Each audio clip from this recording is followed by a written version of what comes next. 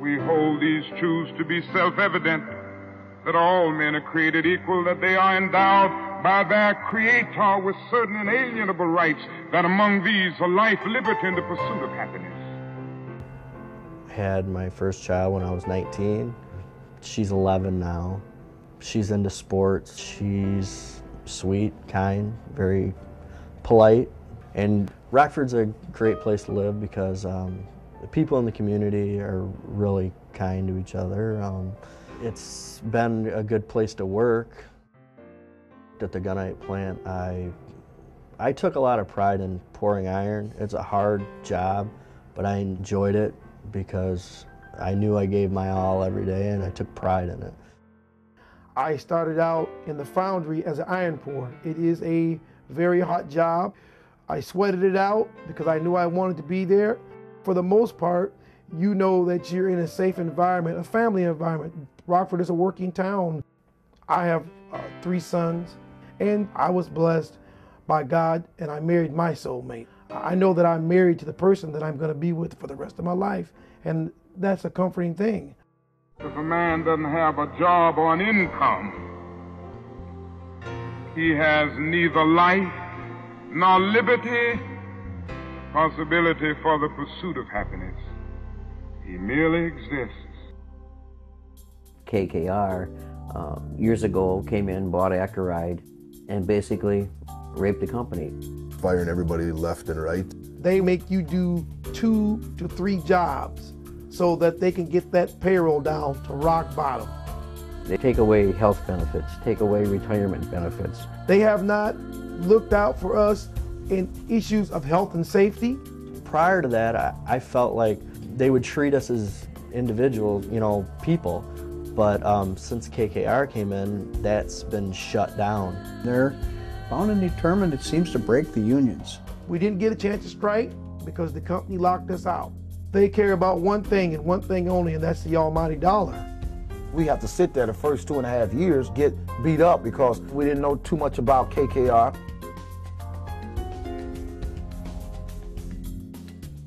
We, along with people from Philadelphia, Pennsylvania, Pittsburgh, Pennsylvania, Brillion, Wisconsin, Cedar Rapids, Iowa, are facing uh, uh, these buyouts. I think they're uh, greedy, um, have no regard for anybody beneath them. Hey, this guy needs a couple days off because he needs to go down to here because his mom's gonna die. You know, she's right on her deathbed. Is she dead yet? No, she's not dead yet. Well, she's not dead then. So go back to work. The Kravis Company uh, bought the firm for $500 million, putting down about 20%, borrowing the rest, and deducting the interest from its taxes. Then he stripped the firm, reduced jobs, cut wages, took $16 million worth of management fees, and when all the value had been sucked out of the company, he sold it. It was a great deal for Henry Kravis. It was a terrible deal for America.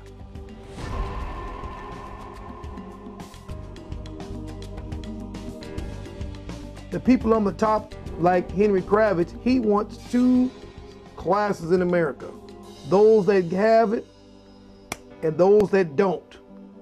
Because the those that don't, we will be grappling around his table for whatever he pushes off that table.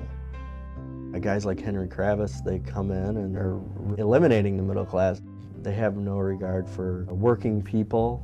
We um, grossed $355 million in the uh, first quarter. Okay, 355 million in the first quarter, but what did you give us?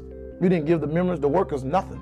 Well, we get a good quality product out the door, which uh, we've done for many, many years, uh, and we take a lot of pride in that.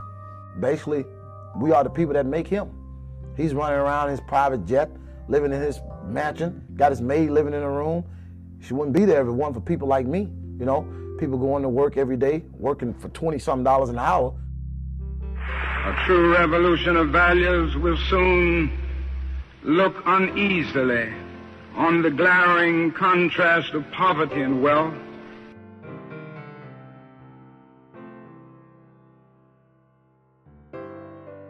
I hope Henry is uh, enjoying his uh, $51,000 an hour that he made. If I was working a 40-hour week, I wouldn't make that in a year. 51,000 an hour, and I'm making 20 something an hour, you know, and I'm making too much money for what I do. And I'm happy with what I make. I'm not complaining about what I make, but uh, it's uh, outrageous what they make, and they try to shaft us for more. Now, the kicker in all of this is that Henry Kravis, who made that year about $50,000 an hour, paid less as a share of his income in taxes than the typical American worker. It makes common sense for us not to give tax deductions for people who are buying these firms, stripping them, and flipping them.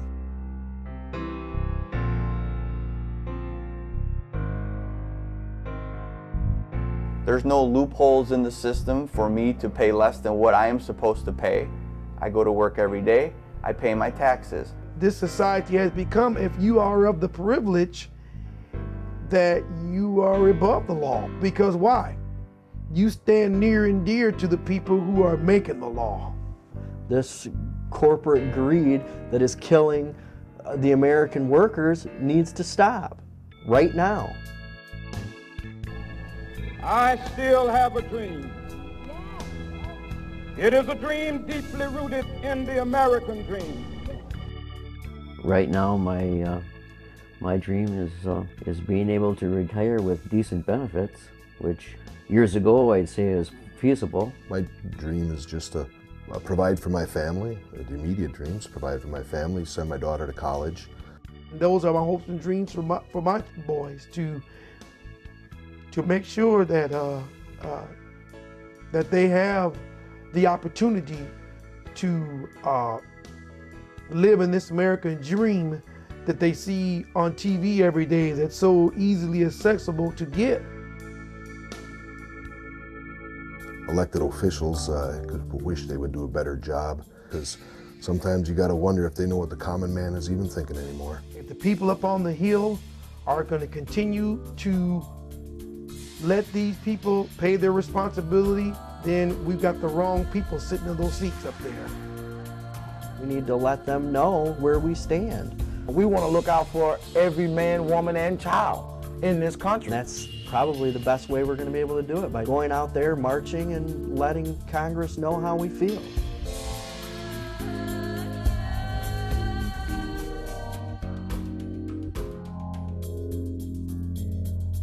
This is America's opportunity to help bridge the gulf between the haves and the have-nots. The question is whether America will do it.